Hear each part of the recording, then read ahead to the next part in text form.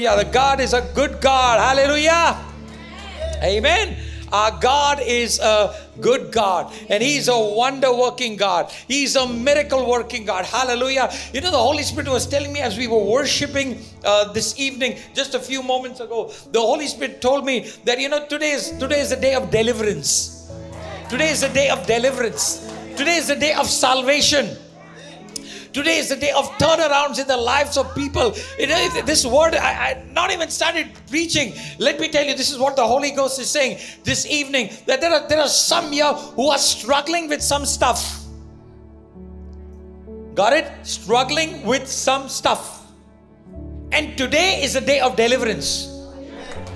You know, but you you wish you could come, you wish you could come and take me out somewhere and say, you know what, what? Many times I tried, it didn't work.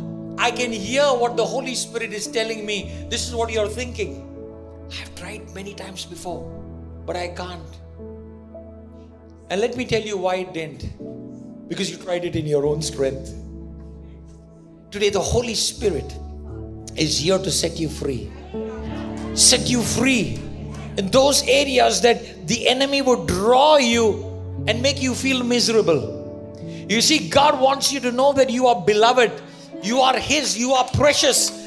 The God whom we worship, the God whom we love, the God whom we serve, the God who sent His Son Jesus is not a God who condemns us. Hallelujah. He's the one who lifts us up. In fact, His word says He's the glory and the lifter of our head. He's the restorer of our fortunes. In fact, His word is so clear that He is the repairer of broken walls. So our God is a God of fixing business. Hallelujah. He's in the business of fixing the brokenhearted to set the captives free. Hallelujah. And so today is a day of turnaround. Today is the day of deliverance. Hallelujah. Today is the day of crossing over.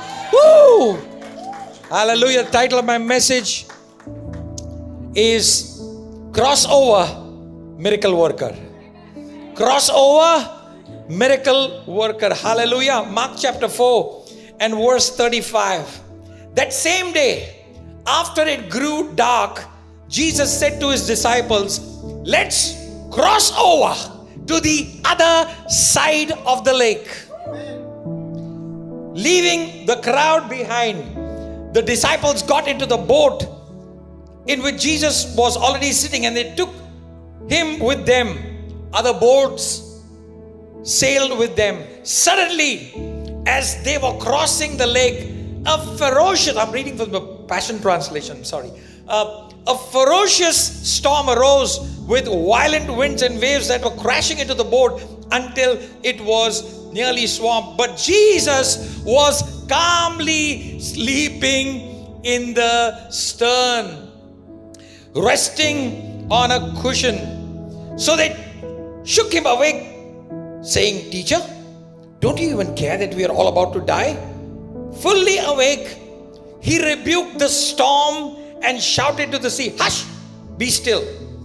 All at once, the wind stopped howling and the water became perfectly calm. You have heard this, you have read this many a times, but there's something that the Holy Ghost wants to speak to each one of us this evening. Number number one, faith tested. Many times people say, I got faith, I got faith. My faith is growing. How is your faith growing without your faith being tested? No, no, no. Don't talk to me about those difficult times, okay? I just want to grow. I don't know anybody who went and saw the gym and came back and, and pumped in a, and got a six pack. Go every day morning, go and look at the gym and come back home. You might put on weight. You need to do something. You need to exercise same way in the spirit. You need to exercise your faith. Now, now background. Disciples said, you know, Jesus, we had a long day. You taught, you taught parables and parables. We are sitting there. You know, disciples were very relaxed. You know why? Because they they had access to the front row always. Some people they go out, they come to church, go out for a walk, go out for a stroll. Some are still busy making some deals. Chat, chat, chat, looking what happened. Something is come, credit, debit. Busy. Some disciples also, you know, they were whole day Jesus was teaching, they were Later we'll, we'll get to know. We'll ask him. He'll tell us directly. He doesn't need to teach us in parables. Yeah, Jesus talked to them plainly.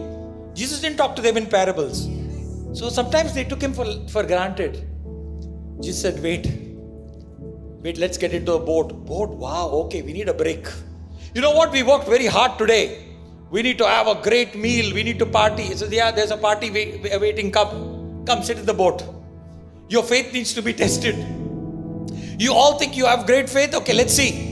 So they got into the boat, they got into the, the Sea of Galilee. Amen. That's not a very big sea. And all of a sudden, there was a storm. The, the boat was caught into a storm, and they had never experienced such a storm. Were they fishermen? Yeah, they were fishermen. Was it the first time that they traveled in a boat, in the Sea of Galilee? Not at all. They knew certain seasons when there would be a storm. You know, when up on the mountains, the, the, the air would be cooler, and down in the, in the Sea of Galilee, it would be warm. Suddenly, because of this change in, in, in, in temperature, there would be a storm created. But that they knew. This one they did not know. You know, sometimes storms hit our life. What is our first reaction? God, are you there? Second, why did this storm come? Third, why me? It's okay, let it come to somebody else. Why me?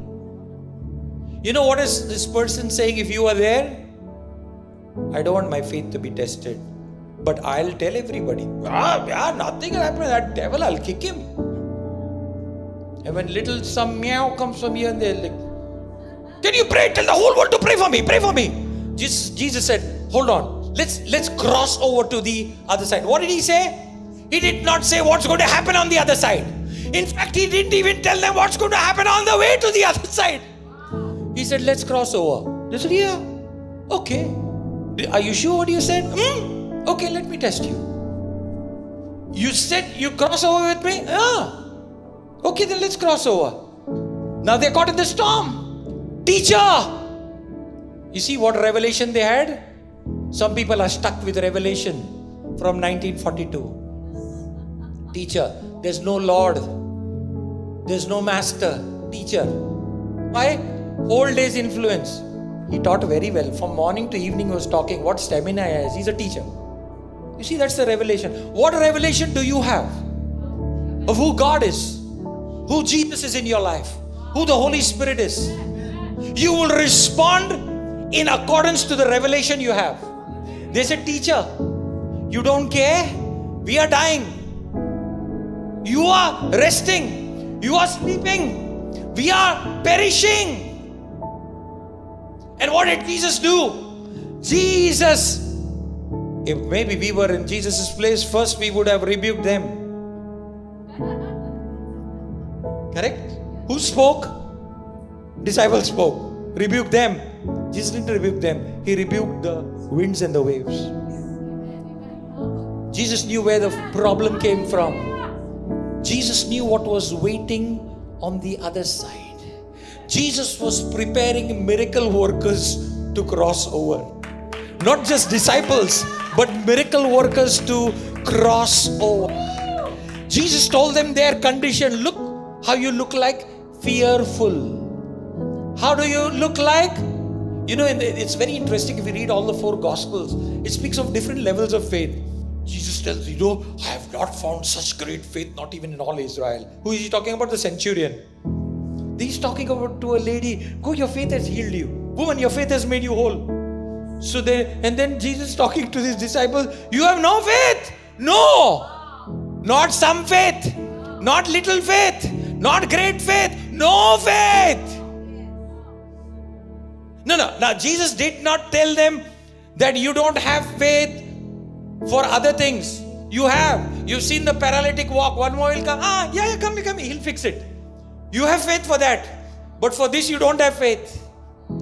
Jesus did not tell them you don't have faith at all. He said, in this current situation, in the situation that you are facing, in the test that you are facing, you don't have faith. Don't you see that your faith is lacking? Number one, because of the lack of revelation that you have. Amen. Now, your revelation is only teacher. You limited me to teacher, but I am master. I am savior. I am redeemer.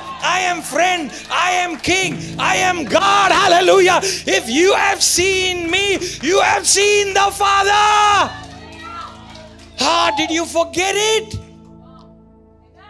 Listen to this. Verse 40. Then he turned to his disciples. Ah, later he turned. First to the winds and the waves, then to the disciples. He says, Why are you so afraid? Haven't you learned to trust yet? Why did Jesus say that? He said that because they heard God's word day in and day out. You've been hearing God's word every week? Every day? Why do you not trust Him? Why do you not trust Him? Why do you trust situations? Why do you trust your so called, so called expertise? They may all fail, but Jesus will never fail. Let your faith be tested so that you can be trusted.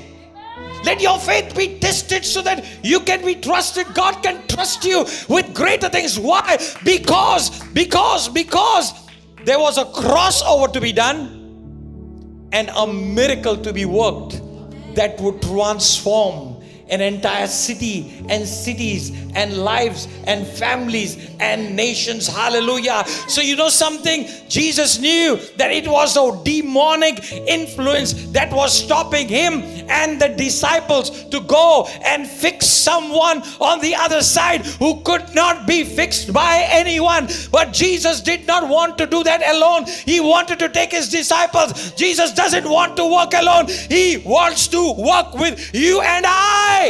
Come on, somebody wake up this evening. Jesus is looking to walk with you and I. Mr. Busy, busy, busy.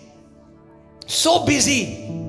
Running after money, running after name, running after fame, running after security, running after bank balance, running, running, running, running. So tired, exhausted. And when they check, there's nothing. What were you running for? Jesus told them, let's cross over. They didn't have even faith to cross over. Jesus did not tell them what's going to happen on the other side, not at all. You know why? They would have told Jesus, You go. You go, take, take my boat, no problem. I'll fill gas, whatever you need, salik, everything, toll, I'll pay it, topped up. Go and come. He said, I want to teach you. And Jesus is still in the business of teaching you. There are some seated here and you want everything on a platter. God is calling you to become flatter. Come down. Come down. Humble yourself before Him. Worship Him. Hallelujah. Jesus dealt with fear.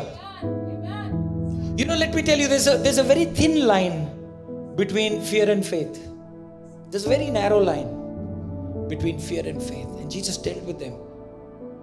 You know, I want to show you guys, you don't even have the faith to cross the Sea of Galilee. You caught in the storm, your boat is about to sink. It, it, it look, did it sink? No, it looks like. And you believe that you're going to die because you don't have a revelation of who is with you. I am the resurrection and the life. Hallelujah. You know, when you have life inside you, why do you speak death? When you have, have you received Jesus as your Lord and Savior? Did you confess your sins? And did you welcome His presence? Did you declare Him as Lord of your life? Did you believe that He's the Son of the Most High God? He came from heaven and died on the, on the cross of Calvary for your sins and sins of all mankind. He was buried. He rose again from the dead on the third day. He is alive forevermore. He's seated on the throne. He didn't leave you and I orphans, but He gave us His Spirit, and that Holy Spirit dwells in us, and you have eternal life. You have eternal life. You have the life of God. When you have the life of God, check the words that you speak. Are they death words? We are perishing. The life giver is with you in your boat. It's not about a boat experience, beloved. It's about a life experience. You have the Holy Spirit living. Holy Spirit, you are welcome here. And let me tell you, the Holy Spirit is here. How many of you just brought the Holy Spirit from 4 to 5 p.m. on a Friday? You can't bring Holy Spirit 4 to 5 p.m. on Friday and then Holy Spirit, you're well. Holy Spirit, when do you receive? Okay, if you didn't know this, better know this this evening. The day you receive Jesus, let me put it this way. It sounds a little blunt, but sometimes I have to. The day you receive Jesus as your Lord and Savior, whether you liked it or you didn't like it, the Holy Spirit came to live in you. Let's settle this once and for all. There's no confusion. I received Jesus on that day, then God was very happy with my performance. He said, I feel so bad for you, now take my spirit. No, the Holy Spirit came to live inside of you, and your body is a temple of the Holy Spirit. Don't speak negative words, don't do things that grieve the Holy Spirit. You cannot walk in the commanded blessing by grieving the Holy Spirit, and Jesus dealt with them. How is it that you have no faith? You know what is Jesus saying? You've been with me so long. You have heard, you have seen, you have experienced firsthand. Then why is your faith lacking? You see, Jesus pointed to faith. And he said, Your faith is lacking because you fear. You started believing in the sea. You started believing in the storm. You started believing in that word that somebody said, This man is come, that man is come. They'll do this, they'll do that. Now the business is, now your company, now the school, now the teacher. Some children dread some teachers. When that class comes, they tremble. Some tremble with the anointing, some tremble with disappointing. I tell you something God has never given us a spirit of fear, but of power, love, and sound mind. Pray for that teacher and pray for your own self. The Holy Spirit will, I tell you, this is for some child here this, today, even watching or here. If you are here, there's some subject you dread, you fear. Ask the Holy Spirit the Holy Spirit who is here, the Holy Spirit who lives in us, the Holy Spirit who wants to touch you and reveal Jesus to you is the one who's going to help you. You'll be a topper. I prophesy. You'll be a topper in that subject in the name of Jesus because God wants to honor you. He wants to bless you. He wants to use you to glorify His name. Faith being tested. How long?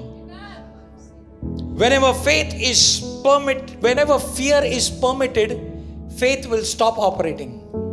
If you permit fear, faith will stop operating. Second, as I close, second point spirit led mission always bring transformation. Spirit led, Holy Spirit led missions will always bring transformation. Any good reason why Jesus should have crossed the lake in the evening?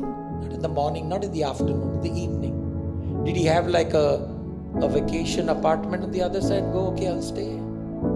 He says, Foxes have holes, birds of the air have nests, but the Son of Man has no place to lay his head. So it's not about his favorite location, it's about being led by the Holy Spirit. Holy Spirit led mission will always bring transformation. God is in the business of transformation.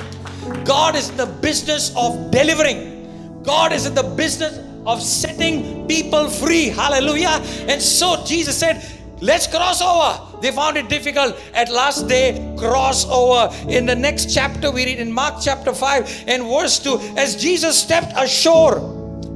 Oh, he just added a, uh, a storm experience. He had a he had an experience with his disciples. Did everything look very comfortable on the Sea of Galilee? Not at all. He should have said, Guys, I had a tough day and then you also bugged me in the boat. So I'm taking a break. Shut us down. No! Jesus was mission minded. Jesus was led by the Holy Spirit. It says, as soon as Jesus stepped out ashore, a demon possessed madman came out of the graveyard and confronted him. You see, the demonic powers tried to stop Jesus and his disciples in the boat in Galilee. But Jesus rebuked. You have authority to rebuke every part of the enemy, whether it's against a marriage, a marital life, your children, their studies, your health, your business, whatever. You have authority. Greater is the power of the Holy Spirit residing in you and operating in you, and that wants to operate through your life. I tell you something the Holy Spirit can never operate through your life till the Holy Spirit does not operate in your life. So, as more as you allow the Holy Spirit to operate in your life, what does that mean, Apostle? What does it sound like? Getting out of our comfort zone. Pray for somebody. I think I'm tired today. I had a tough day. Phone down. Are you ready? There is one major crossover that you have experienced, and that is death to life through salvation. Now, this is another crossover. Jesus, by His Spirit, is calling us. Are you willing? Are you willing to cross over difficult situations, challenges, hurdles, uncomfortable situations, uncertainties to go to reach out to somebody? Jesus met this man. He confronted Jesus. What happened? And Jesus set him free. Hallelujah. Hallelujah. He had, look at this. I want, I want you to look at this. I got like five minutes more. The disciples called Jesus. What name? Teacher. Very interesting. Let's go and see what this, this demon possessed guy. Verse 7.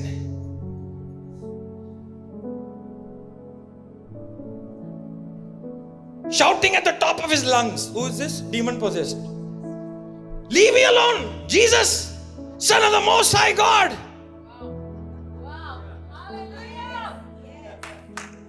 But let's let's go to let's go to verse let's go to chapter 4 and and see the last verse. We're going back to the disciples in the boat. Who is this man? This is a joke. Disciples, who's this man? What power he has? My God, we didn't see this thing. Demon possessed man is saying, Jesus, Son of the Most High God. Disciples saying, Who's this man? You see where the problem is? And many times we have been here. Yes. Are you there, God? Yes. God says, I will be with you till the end. Of, but are you there now? I said, I'll be with you till the ends of the ages. Do you care for me? Then how are you breathing? How much did you earn to buy oxygen? I promised I'll be with you. And sometimes we behave like the disciples. Are you there? God, where are you? I feel you're some light years away. We don't know how much the distance of a light year is, but he just say. For saying, we say it. We need to be careful. You see, this demon possessed man, the demon spoke, they recognized who Jesus is. Disciples were still, who's this? Who's this man? Who? Bro, did you see such a. No, man, I didn't see such a miracle. Wow, wow, ooh, ooh. Jesus said, forget about the miracle. I want to fix your faith. Because I'm not going to stay long with you. I'm going to leave. And then you guys need to fix things. What? We? We thought we were going for a joy ride. First of all, we didn't like this storm. We know whether this side of Galilee or that side of Galilee, we'll get food. We'll get, we will be recognized. You see, their motives were different. But the day the Holy Spirit came, their motives changed because they got revelation. Hallelujah. When power from on high came, when you receive Jesus, you receive revelation. You receive the Savior. You receive the Master. You receive the Redeemer. You receive your friend. You receive peace. You receive joy. You receive hope. You receive strength. You receive salvation. You received honor. You received grace. You received provision. You received every good thing that you need to live a successful life, a victorious life, and a life life that will bless others. You just said some time ago, I am blessed to be a blessing. Sir, is that only about money? Did you say that only about money? If you said that only about money, it means when you have surplus, you will start thinking, not start becoming. Start thinking, should you bless or no? It's about every day. It was a what you speak. Can you speak a word of blessing over somebody? Hello, friend. I just called to tell you I bless you. The Holy Spirit just tells me I bless. There are people seated here, they've received messages sometimes, just a voice message. Just, no, but I, did, I didn't ask the apostle for a prayer. I didn't. The Holy Spirit told me, bless this one. We are called to be a blessing. Hallelujah. We are we have been blessed to do that. He addresses Jesus to be the Son of God, while the disciples said, Who can this be? As I close, crossover, miracle worker. The enemy hates every advance you make for kingdom manifestation. See, no doubt, we are all part of the kingdom. Jesus is our king. But the enemy hates it when kingdom power, kingdom authority is manifested. He hates it. He hates when the those in possession are set free. So he'll try to stop. Our focus is not the enemy, our focus is our authority. Jesus did not look at the enemy, he knew that it was demonic. He used his authority and he taught his disciples. And he is reminding us by the power of his spirit this evening to speak to the storm. To speak, he knew. You see, why did Jesus rebuke the storm? Let me tell you this Jesus rebuked the storm because the storm came from the enemy. He did not rebuke a storm that God sent. God also sends storms in your life. But He will never send a storm that will stop you to bless somebody. He will send a storm to test you. And He will give grace to you and me to go through that situation. Christ in you gives you rest, gives you peace. Are you restless? Come to Christ. Come to Jesus. Surrender.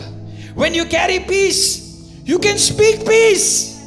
If you don't carry peace, you cannot speak. Sir, you cannot. You can speak, but nothing will happen. The first person to get frustrated will be you. Forget about the other person. First person will be you. If you carry peace, you know what power you carry, then you're not shaken. There is no situation that is more greater than the name of Jesus, the power that you carry. Hallelujah. When you carry peace, you can speak peace. Romans 8 19 says, All creation longs or waits for the manifestation of the sons of God. Hallelujah. And so, as you have crossed over from darkness to light, now there are challenges in your life.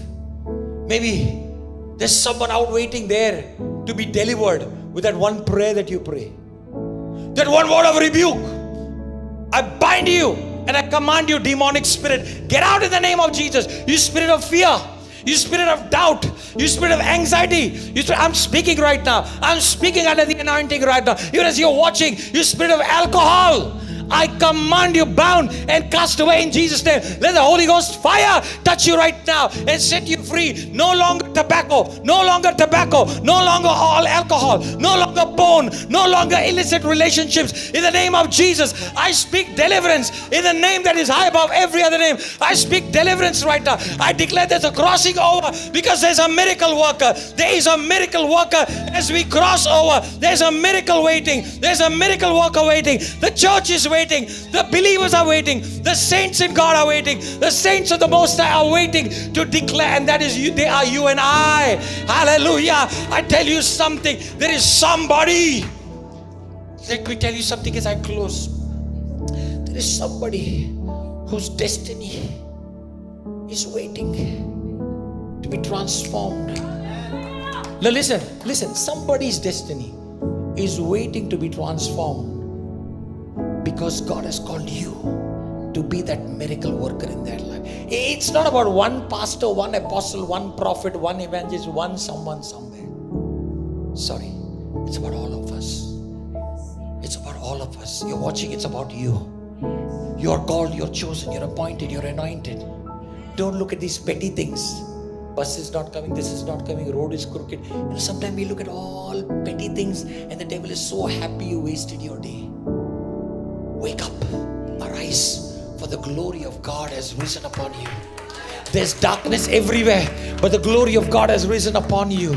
You can cross over. You can help people to cross over from darkness to light, and they are set free. As I continue, I declare that every illicit relationship I command be broken in Jesus' name. Every spirit of deception I command you bound and cast away in Jesus' name. I speak right now. There's someone here. There's somebody here. You're finding it difficult to sleep in the night. You're disturbed, and the Holy Spirit right now is touching you and setting you free. You will sleep like a little baby. You will sleep like a little baby. And the Lord says, Come to Him. Come back to Him. Don't trust in man. Don't look to man. You're failing day in and day out. You've been failing and failing and failing and failing because you've been waiting for man. You've been looking to man. You've been talking about man. You're trusting in man. God says, Talk about Him. Talk to Him. Learn of Him. Worship Him. Adore Him. Bless Him. Praise Him.